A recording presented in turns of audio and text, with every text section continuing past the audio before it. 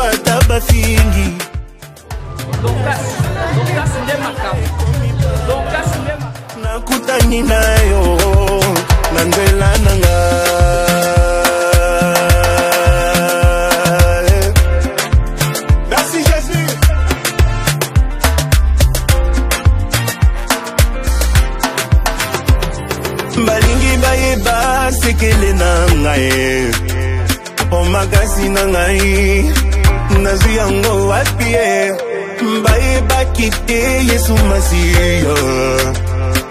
azali na nguya ya kotombola moto yango ekoki ya bana nzambe bapelisa mwinda gengisa mokili mwana mokonzi mata na mpunda oyo ntango na nzambe na basali na ye tala lelo nzambe malamu ngolo na yo nde komisinga bisika oyo mawa na yo nde longolinga kati ya pasi na bosani te je suis prêt à tout nakola na nzela na yo atanga moko nyonso ezalaki na ntina ekomi pamba nakutani na yo na nzela nanga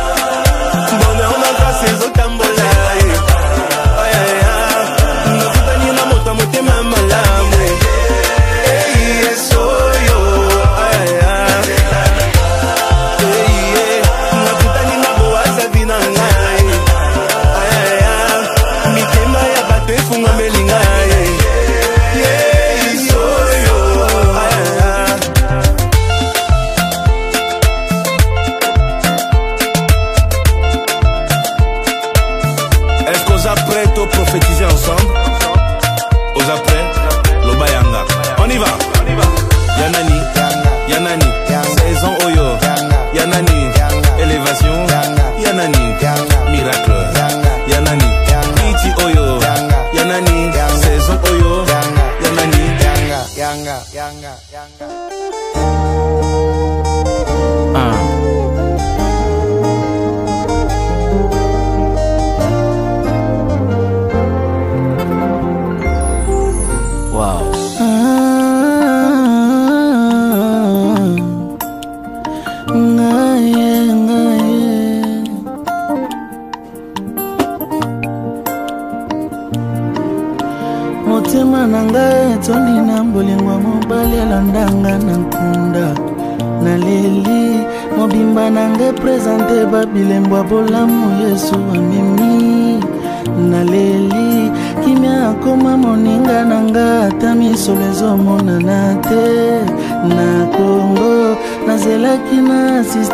lapidation te manque Oh, surpris, Jésus m'a surpris, agréablement surpris. Jésus m'a surpris, Azaboli moi motema nangai, alongoli so.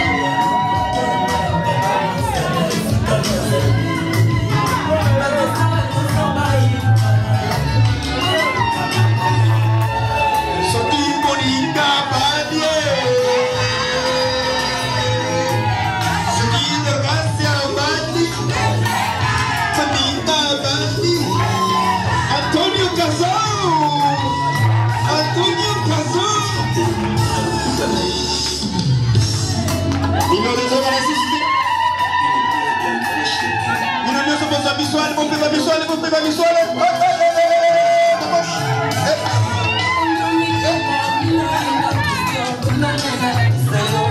ezalaka nde ezalaka nde boye lengamo ya moyo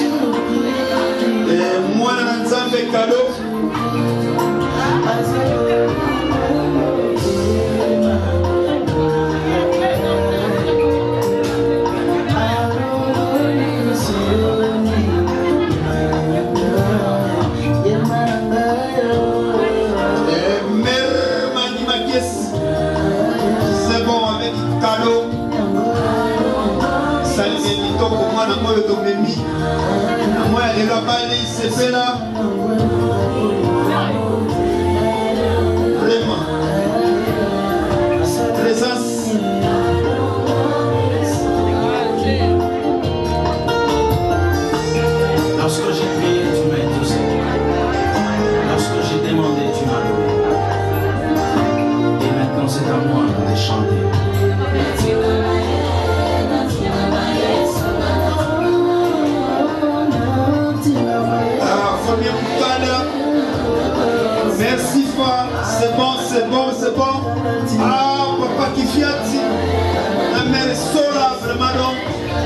kota na biso francfort ekipe mpona te présence kitoko ndele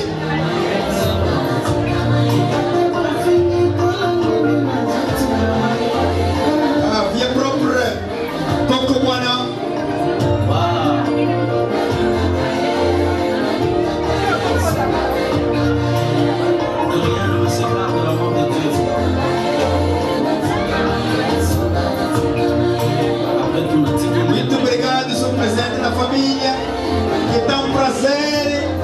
O Antônio, um dia de hoje, familiarmente casou. Que Deus abençoe. Deus te abençoe, Antônio. Estás muito bonito hoje. É verdade. Muito, muito, muito, muito bonito. Então, tem que ser. Gostamos. E deu certo, pá.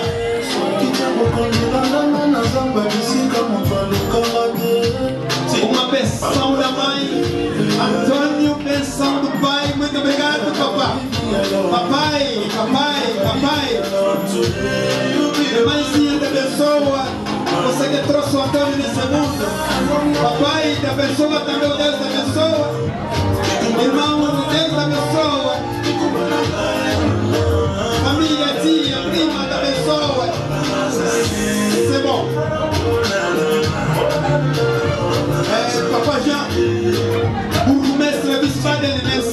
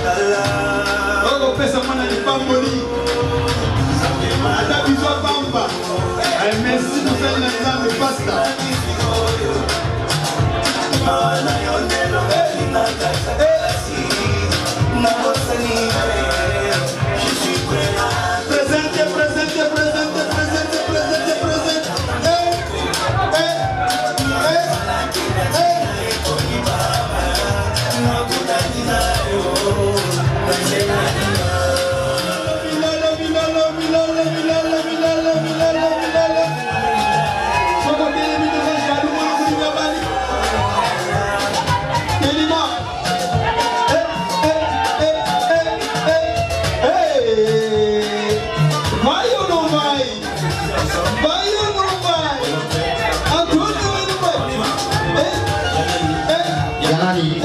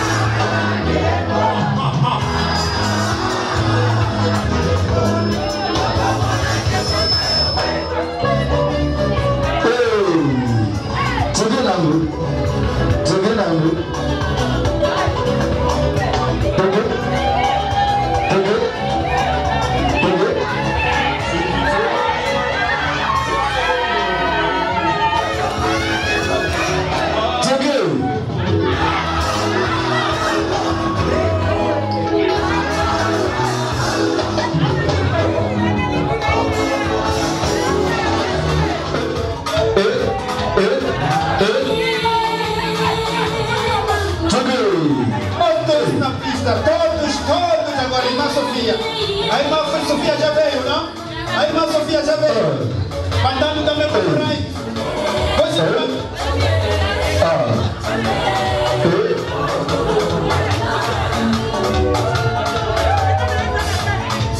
Todos são convidados. Todos convidados. A irmã Sofia já veio. É. É. Essa aqui é a irmã Sofia que está nos levando na Nova Jerusalém.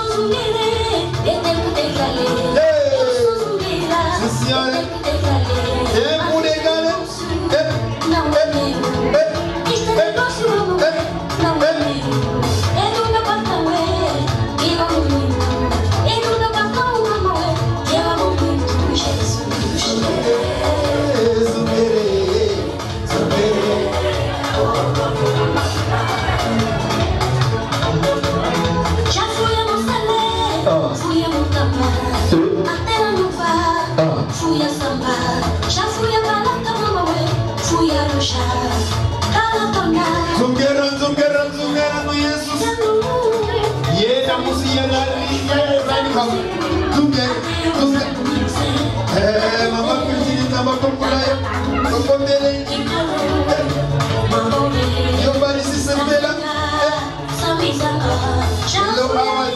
Santa, Santa, Santa,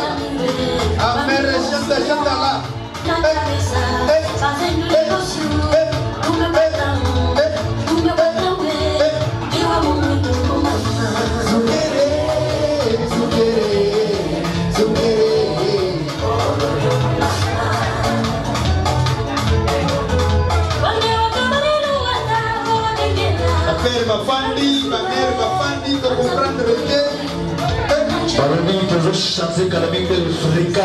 motu te komi na yere yango na bilenge ya nzambe te apesaka nzambe priorité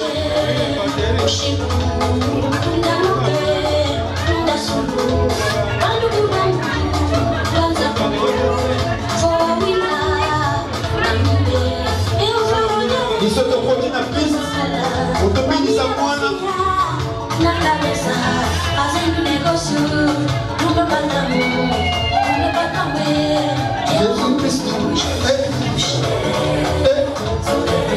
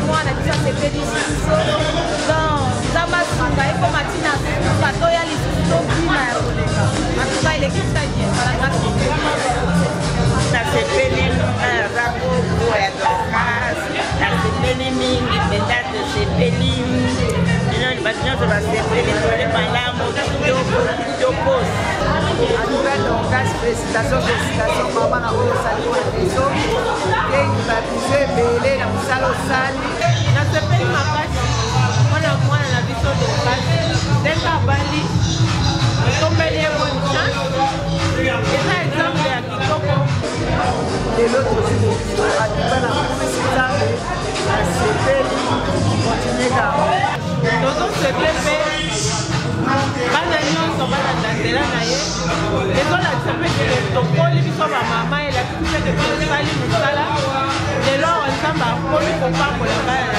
biso ekomi tour ya bana bana bakomi kobala neti tokasa baliboye nasengi na nzambe ndenge bandi na ye na présence asukisa na ye na mariage religieux na ye topesi yesu merci mpona kolamo na ye eza na makasi moko te ya moto moko te me likolo na nzambe nde esali ke mokolo ekokisaka mpe na ndambo ya ya virginie yeke mwana na mwasi ya liboso asala bango esengo alors yango toye kosepelisa bango merci atuka na dokas en tout cas merci mingi nzambe apambola bango bakei liboso merci naloka mama kumutu kote mosusu na tata mwasi to naza nyonso atuka lokuya na fami bakela yango lobi eza te vraimen naza ya koloba esengo mpona biso nyonso kibi elobi eza na esengo na bana oyo bakokisaka batosaba boti bake bakokisi euh, ya dorcas akokisi ephésiens 11 bana papa mpombo na bana bana batosa baparan epuis sukana yango yango nde ekenda kopesa bénédiction oyo en tout cas esengo eza fantastique tolingi bango mingi nasepeli oyo tosolisi mwana vraiment nana esengo mingi mwana wana nde nazokotama biso tobemaki ye akutami awa tomoni ye ndenge afoli lelo abali en tout cas c'est vraiment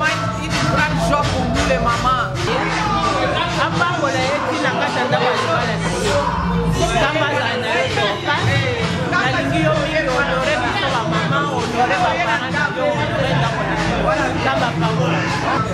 euh, donc je te souhaite toutes les bonnes choses. Sois une femme soumise, sois gentille. Nanda exemple ya biso bamama na yo. Donc nga nazali grand frère ya mama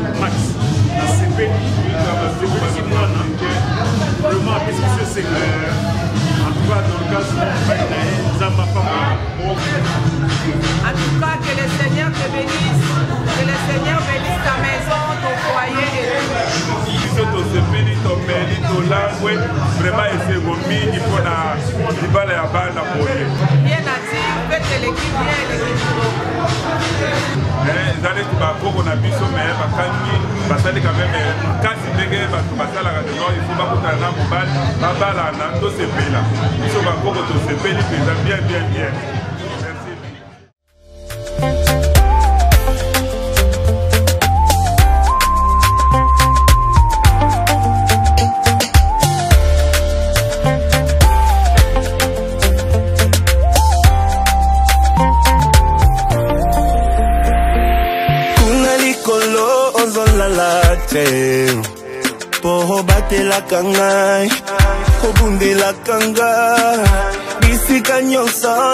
natambe ezopesa melangai nalingi nangaseo